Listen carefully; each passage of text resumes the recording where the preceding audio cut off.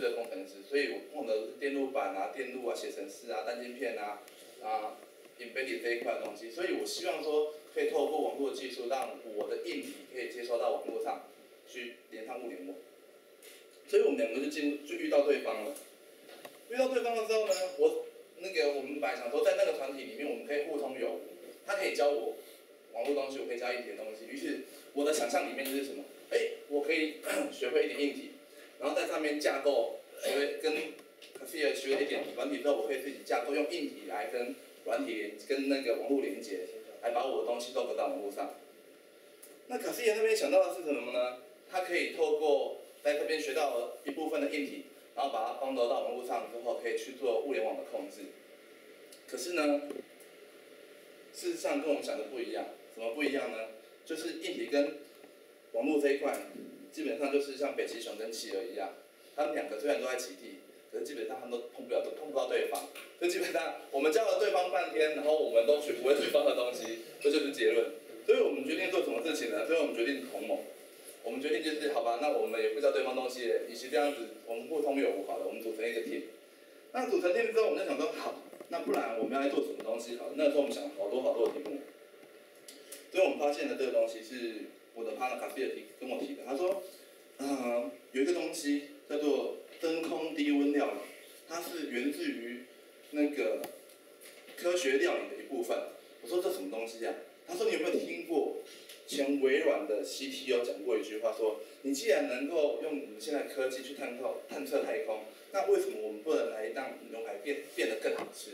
于是我说，嗯，好像有这么有一份道理哈。我学了这么多的硬体，学他学那么多软体，如果可以把我们学的电子跟资讯的技术用在主菜上，也蛮不错的哈。所以于是我们就开始好吧，那我们就试着要去做这样一个产品，把我们的这种比较特殊的技术应用在做厨艺这一块。那同一个时间，当我们决定这个题目的时候，因为我们发觉隔天好像是那个七月八号，我们在七月六号、七月七号左右就决定说要做这个东西。然后，哎，就是联发科的通讯大赛。那因为我本身还在台科大读博士班，那我我蛮忙蛮常写计划书，蛮常参加比赛的。所以说，不然这样好了，既然都要做了，给自己给自己一点压力好了。于是我就一个晚上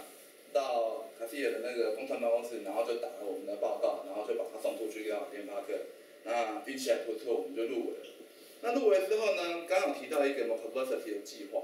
这边在讲历史哈，就是我为什么会有这个团队的历史。如果大家如果期待讲议题，我们等下可能要会后多聊一点，因为我主要今天是说为什么我会留在 ID。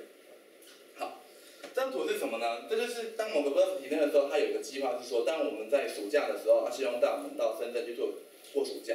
然后在深圳里面去做黑手。那他选择地点就是深圳的 C 的然后到 C 的办公室去。所以那个时候我们就机票买着，然后就冲到深圳去，那决定要开始做一个 X 手，也就是说我们这样的题目已经决定了。那我们就到那边去把我们东西委托代表实现出来。于是乎，这就是我们的混乱的桌面。为什么打模糊呢？因为也不太敢见人。用了三部电脑 去控制一台电，那个他们知道他们不是电锅，他们是一个叫做呃电火锅的东西。用一堆电脑，还有那块 t i 的盒子，然后板子去控制那个电火锅。那我们来看清楚一点东西。OK，所以这就是我们那个时候乱搞的一个东的一个结果。那那当初就是用 nike one 的板子，然后透过这个是在记者的那个垃圾堆里面捡到了一块坏掉的继电器的板子，然后把它随便接一接，然后这一个这里有一个插座，那个插座其实也是呃在记者里面的仓库发现他们不要的一个东西，然后就自己把它配线配配弄一弄，然后就把它接一接，就开始控制这个电锅。好，这电锅其实是那个时候去的时候淘宝买过去的。那这是另外一个角度看，那那个时候其实我们 Hexon 目的，它其实是因为他们有一个产品叫 Reform 这个东西，他那时候要推出，所以它其实希望 Hexon 是用这个 Reform 作为我们的一个组成。那我们既然是因为有目的去的，就是 Hex 这个东西我们还是有摸一下，可是事实上我们还是在开发我们的哈维的部分。好，那我们哈维开发完之后呢，我们第一件事情就是要煮蛋，因为如果一个水温的控制，控制好跟坏。可以取决你的蛋好吃跟不好吃，所以这个时候呢，我们就去他们的超市去买了一堆蛋，因为其实不是其实我们都是肉食主义者，其实我蛮喜欢吃肉的，因为在那地方找不到肉嘛，所以我们就蛋最方便，就把它丢进去做。OK，那在煮蛋的时候呢，我们就跑到楼上去，去参观他们的厂房。哇，我们就哇这边哇好多 Linky One 哦，哇好多 Linky One 盒子哦，哇好多他们的生产产线。但很开心的，突然电话打上来说，哎哎哎，你们电锅的水快煮干了。原来是我们的城市当票，因为我们城市那个时候才刚第一版没写好，我们以为他可以 work，然后就把它丢了不理他，然后我们就去楼上，结果因为那个时候网络是连我的手机，然后人走掉了，手机就离线了，然后我们的板子就一直通电，然后我们的里面因为是电火锅，它的网热速大概一千四百瓦，所以一瞬间里面的蛋就全收掉了。OK，那这张是我们那个时候。最后做成产品在做笔线的时候的一张合拍的照片。那我们来看一下我们那个失败的照片，就是这个。当我们发现说我们蛋黄全部都已经全熟了，就是说一般的水煮蛋，没有什么特殊的。那当我们修正之后啊，然后再把它改进它的一些正常的流程之后，我们就煮出了我们第一个的水煮蛋在这边。这一颗就是水波蛋。那水波蛋特色就是它其实是半分熟的蛋，可是它不完全的硬，它也不完全的软。那它这。这是西式料理里里面配，比如说配意大利面，或者说半里里克蛋基本的一个最基本的一个水波蛋。好，之后我们就回台湾啦。回台湾之后就是紧接着就是要去比联发科的通讯大赛了嘛。那很不幸的，我就把我的电火锅的延长线就丢在大陆沃带回来。所以回了台湾之后，我们只好就赶快把大同电锅拿出来，那把大同锅电锅接上去。那个时候我回来的时候有拿到一块那个立极 One 的开发板，所以我就决定，不然这样好，因为那个时候在大陆版本是，嗯，没有，呃，温度计跟我的控制器是接在一起，没有把它分开。那我就透想要透过 Reform 的蓝牙来做一个低功耗蓝牙，然后把它跟我的板做结合之后，可以把它两个东西分开，然后让它变得看起来比较，呃，方便一点的一个连接，不用前一堆这样子。那所以。这就是我们开始做。那赶工的时候要做什么事情呢？就是我们平常都要上课上班，所以晚上的时间去赶工。赶工完呢，赶工赶工到一半呢，就会吃宵夜，因为就要把我们做出来的东西拿来煮。煮了之后，我们就开始研究我们的宵夜。然后呢，再继续隔天继续赶工。好，刚刚做应急嘛，现在就还是做网页。网页做完之后呢，一样继续再吃宵夜。这 就是我们那个那时候的循环。所以我们吃了很多的肉，很开心。那之后做出我们第一代的那个版本，那不知道有人知道这黑麒麟是什么东西吗？这其实是那个小当家的海料理。对，没错，那个时候就是，其实我们是用皮逊霸的这个名字去报联发科比赛，我们是用安海料理界这个名字去测比赛。那所以我们就做出了这第一版的控制器，然后他故意把这个电路板外露这样子，就好像我们很认真的做这个东西这样。那这个时候这里面就是一个 r e f o r m 那这边是 Linky One，好，所以呢，整体的架构是什么东西呢？其实整体架构就是我们大概把它拆成几个部分来看。第一个就是说有一个是网络的部分，这是 server side，然后客控制器呢会透过网络跟我的 server 去做连接，那透过蓝牙跟我的波盖这边的温度感测器做连接，那最后我们会透过继电器来控制我们加热锅，那透过里面的演算法，等下会提到，来。让我们可以做到这个科学调研的的功能。好，那这个时候呢，我们就讲到这个 r e f o r m 的部分，也就是说，其实这边板一开始做 Linky One 做，后来我们是用改用 r e f o r m 做。那 r e f o r m 这部分的话，就是它基本上 GPIO 就是要去控制我们的热电脑，那个时候的版本还是用热电脑做的，啊，因为那个时候觉得热电脑还是比较便宜、比较好用。那不过我后来有改版，对，然后再来就是呃 LCD 跟触控荧幕的 UI 啊，还有蓝牙的连接啊，还有里面的一些呃菜单，比如说里面有预测一些菜单放在里面的一些动作，都把它发 reform 上去做。那后来，嗯，嗯，应该说话说回来，就是说我们的控制端 Link One 的这个部分呢，除了基本的一样就是 GPL 控制靠 WiFi 连接到 Internet，还有蓝牙连接到刚刚温度计之外，有一个重点是这有一个 PID 啊，啊，这有一个 PID。那 PID 是呃，我们要控制在那个自动控制里面，PID 是一个非常重要的一个控制方法，因为我们以前在控制电锅，如果我原本的想法是说，哦，我到了这个温度就把它关掉，低于某个温度就把它打开，那这样控制的温差会很大，所以为了解决这个问题，我们用了一个多叫 PID 的控制法。那 PID 如果各位有机会接触 3D 表机的话，基本上 3D 表机里面的控温一定是用 PID 在做。那我们同样是用 PID 来做我们电波的部分控制，来降低它的那个曲线的波动。那再来有一个东西叫 Wave Sucking，那个时候呃，其实我那时候不懂什么叫 Wave Sucking，那后来是因为到那个某个 University 里面去学，然后透过网络的技术，现在基本上 Wave Sucking 的跟 c o a b 这两个通讯其实现在还蛮夯的。因为现在应用在要做物联网这一块，基本上就是一个蛮好用的一个通讯协协定。最后就是有一个这 DDP，等一下我的 partner 应该会再跟各位解释这个部分。这个就是我们在做我们物联网这一块的时候，我们的菜单跟我们的机器之间的同步，还有手机之间的同步，我们用的一比较特殊的协定叫 DDP 的协定来完成这一件事情。那再来就是 server side 的部分。所以 server side 的部分的话，我们的设计基本上就是比较偏现在比较新的一些物联网的 server 架构技巧，所以底层是 MongoDB，然后我们中间是用 Node.js 做我们的后台后台，然后 Meteor 做我们的全端的这个部分，然后最后架构这个 DPP，DTP 的那个通讯协定来作为我们的菜单的选择跟 download 的这一块，最后一个 app 这样子。好，讲了好多好硬的东西，看一下。就是我们预期的功能，当然我们最后目前的版本还在训，因为我们一直在过程中我们改了好几个版本。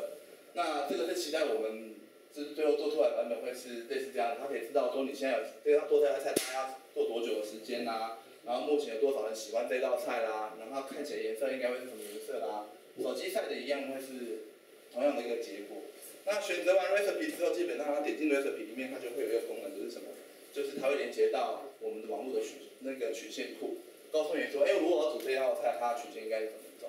那当然，说肥法的曲线是比较固定的。不过，如果说我们今天是要做一些比较特殊的料理，然后基本上会有一些曲线的波动。不过，这波动有点夸张，那个时候是稍微画画的意思一点。那我们就会有 cook 跟绑所以那个时候我们就想了一个想法，就是说，好。那就是我可以直接用我的软体，就控控制我电波之外，我还可以去监控说，我现在煮的过程中有没有什么意外发生？那是不是比如电锅啊或机电器这些东西会不会有些故障？就可以透过这个软体知道这件事情。最后，拜是说，如果说你今天需要呃这些食材的话，你可以透过拜快速帮你打包这些食材，帮你买回来。所以那个时候我们去比联发科的时候，我们其实机器是叫做 E D to B。啊，这个名称就是本来就叫做易舒飞啦，后来觉得这名字有点怂，后来一直没有没有引用下去。那那个架构就想说，OK，那就是我们的这一块就是刚刚讲的我们那个硬体控制器，啊，就是以 Link One 控制的这一块，然后它会去控制我们的电锅，然后透过网络会自己到我们的 Cloud 这边去拉我们资料下。手机的用 User 只要自己跟 Cloud 做连接，然后去选择我要菜单，它自动就可以去把我要东西的参数下载下来，而不是透过手机当 d 去给我们的机器。这样会比较直接。那当然，如果今天网络不是很顺，可以透过蓝牙直接把它扔过去，这也是我们我们预期的结果这样子。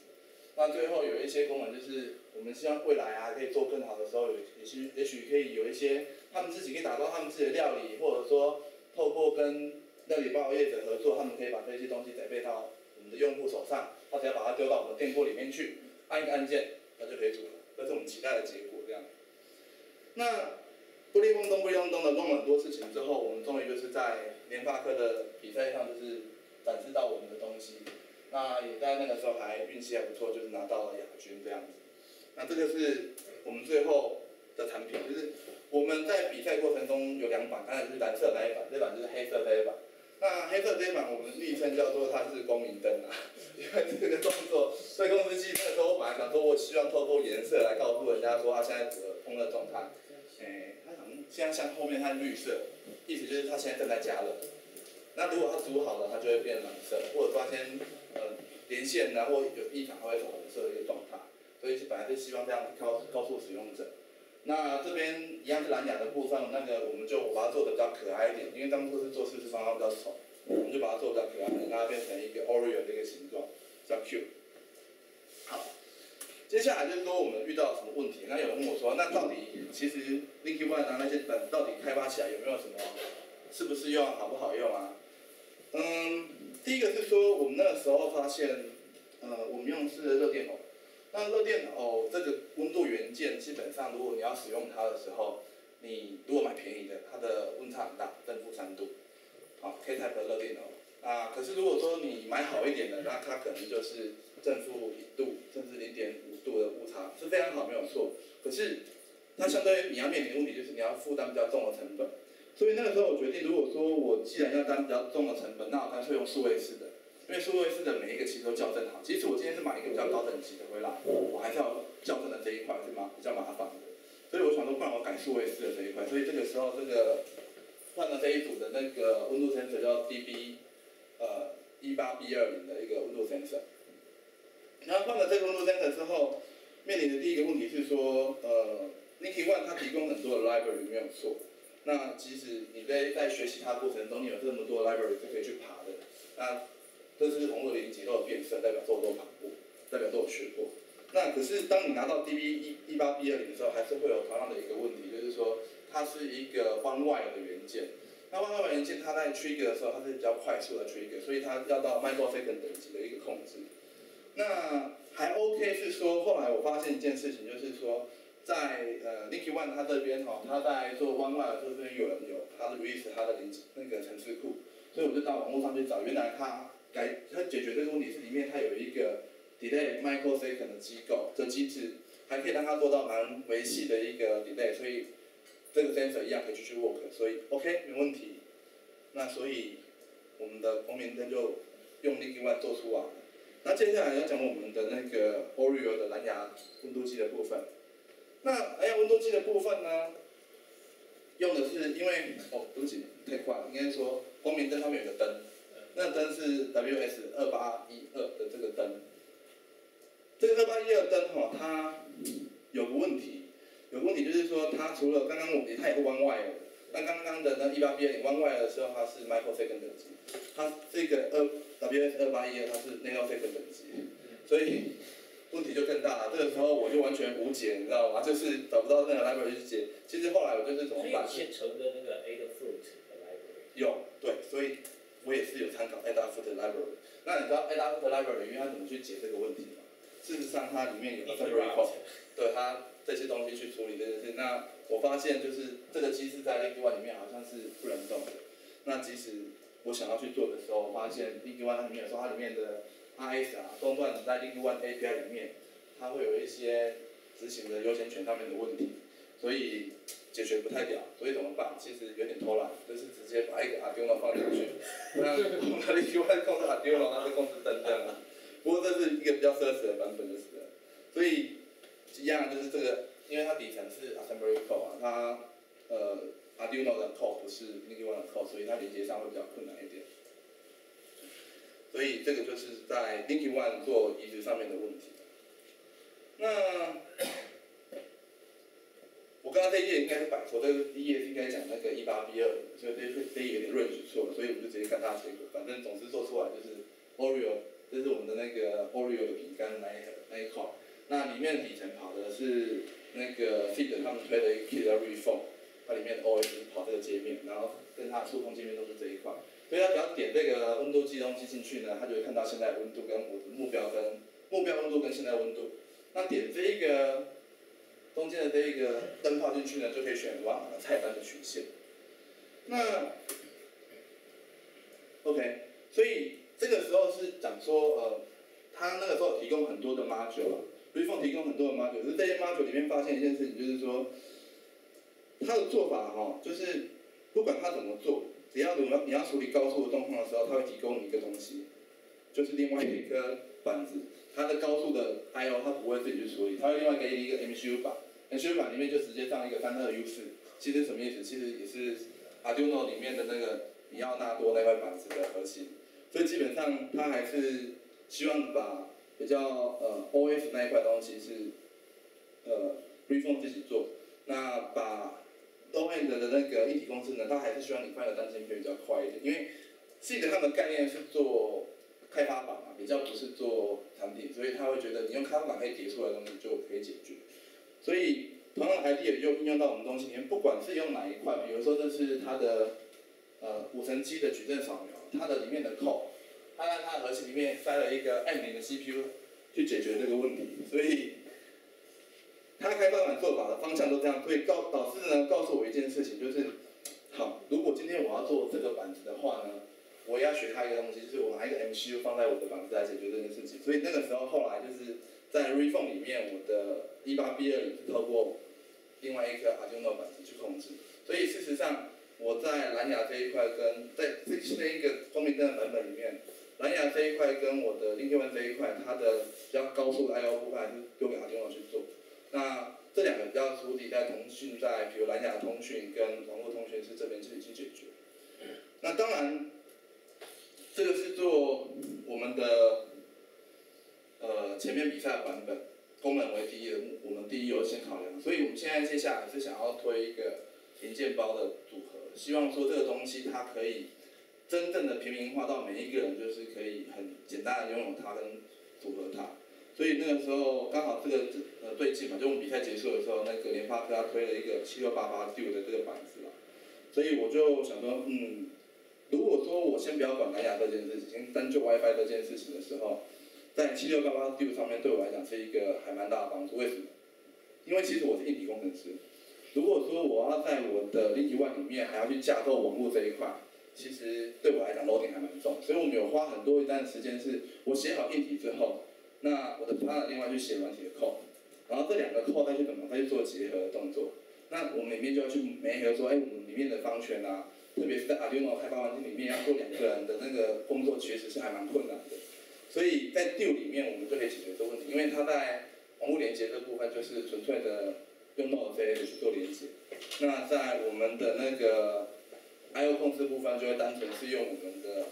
Arduino 的部分去做这个部分。所以我们发现七六八八在这个版本里面确实是蛮适合我们在开发的部分，所以我们就把移植过去。那这个版本呢，呃，